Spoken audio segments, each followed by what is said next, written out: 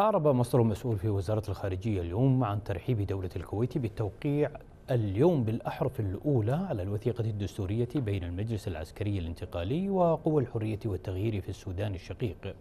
وأكد المصدر على أهمية هذه الوثيقة باعتبارها ركيزة أساسية لترسيخ الأمن والاستقرار والسلام وصياغة مستقبل مشرق للأشقاء. مثمنا الجهود التي بذلتها كافة الأطراف وتعاونهم في تغليب مصلحتهم العليا للوصول إلى التوقيع على هذه الوثيقة الحيوية الهامة. واختتم المصدر تصريحه بالتأكيد على وقوف دولة الكويت إلى جانب السودان الشقيق فيما يحقق أمنه واستقراره.